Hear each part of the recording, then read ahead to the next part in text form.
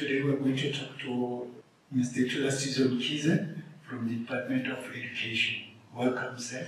Uh, thank you very much. Um, good morning to you too, sir. Uh, can you tell us how did you become a researcher?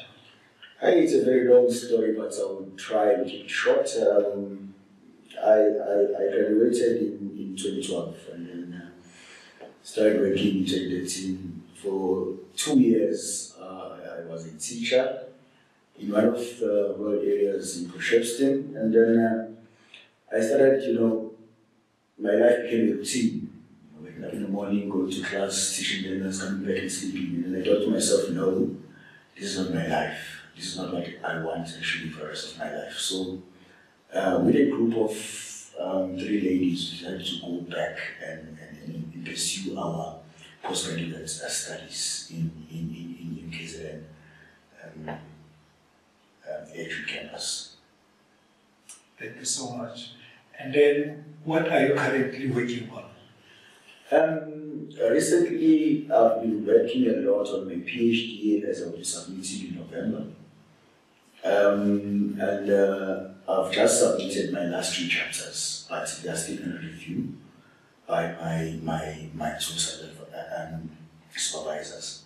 And um, I've been writing papers and notice for publishing, of which um, I've, I've just completed my three master's papers on, on GIS, Geographic Information Systems, um, where I've been looking at um, South Advisor's role on, on, on, on the implementation of GIS as well as teachers' roles, as well as how assessment is, is, is done in, in, in secondary schools with regards to GIS.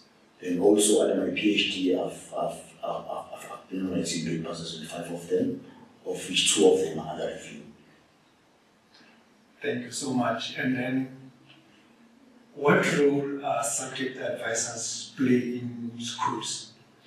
Um, you see, this thing started uh, actually with me becoming a lead educator um, in KZN, where I was a facilitator, um, working with the advisor of geography, going and teaching uh, other educators how to implement a GIS.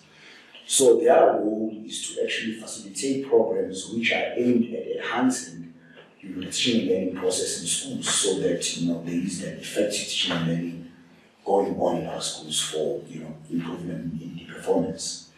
So because they lack understanding of GIS, that's when they recruited me to come in as a lead educator to try and share my ideas with other teachers so that we are able to facilitate this thing and try to you know enhance the teaching of GIS because this is a problem, a, a problem in schools. So that's how I came in. Even here when I came in the Free State, I've been working a lot with the advisor where I went um, in one of the places as, uh, around Warden, where I was actually, you know, sharing my ideas of what I was doing in KZN with regards to GIS because it's one of the very challenging topics in geography since it was introduced in 2006 in curriculum. Thank you so much. And then, okay, we see that you are playing a role in the community. That's very uh, profound. And then, are there any gaps within your field of study? Exactly, because I'm, I'm, I'm more interested in geography, uh, particularly in GIS, as you have noticed. yeah, so GIS uh, takes many terms. You know, when you look at international studies, they talk of geospatial technologies and, and, and they talk of computer-based GIS.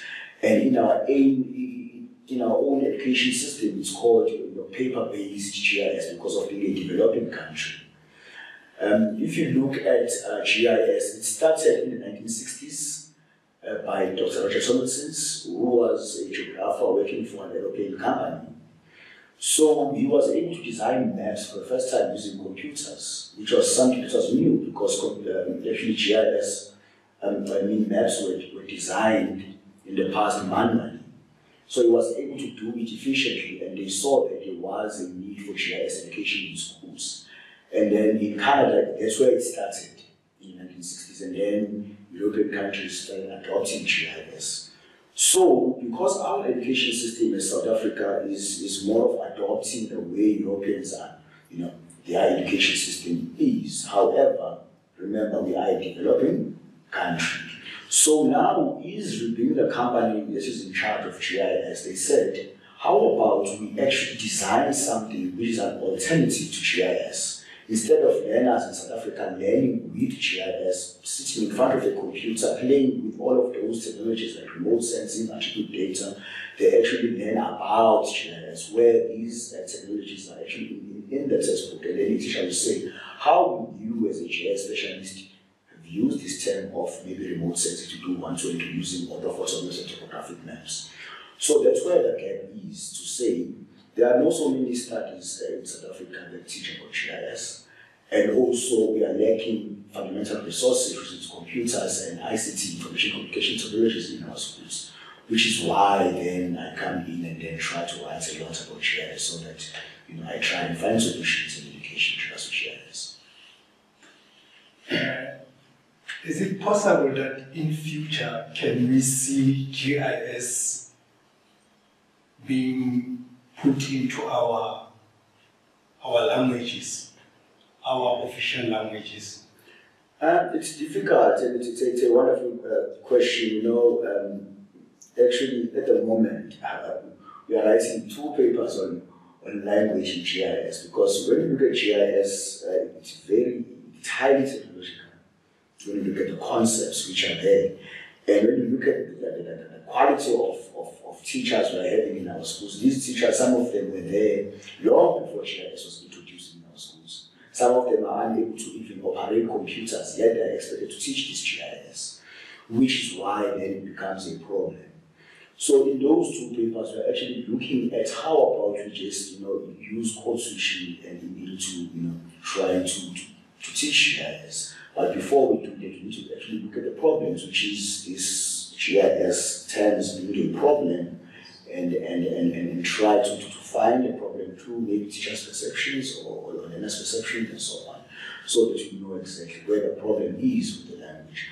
But as for the language being used in our official languages, it will be a very, very challenging job because of how, you know, the funds and, and, and, and so on. But it will be a very, very good thing to do as we are trying to propose two papers based on exactly trying to use our own languages in teaching. Thank you so much. And then what message can you share with aspiring researchers? Um, hey, um, you see, um, this thing is not about you being smart. Research is not about all of that. You, can be smart you know, to find easy ways of doing certain things, but there are no shortcuts there hard work. Uh, you need to be, you know, consistent. You know, I come in the office almost every day at six o'clock in the morning, and then when I leave, I'm not sure what time I leave because sometimes when I want to leave, then there will be something that I want to write, and even when I'm, you know, sleeping, I want to wake up and, and actually write something before I, I, I actually forget it. So I would say hard work, um, be consistent in what you do. If if if if, if today I wake up at, at, at half past four, get ready for work, tomorrow I should do the same thing. You know, resilience as well.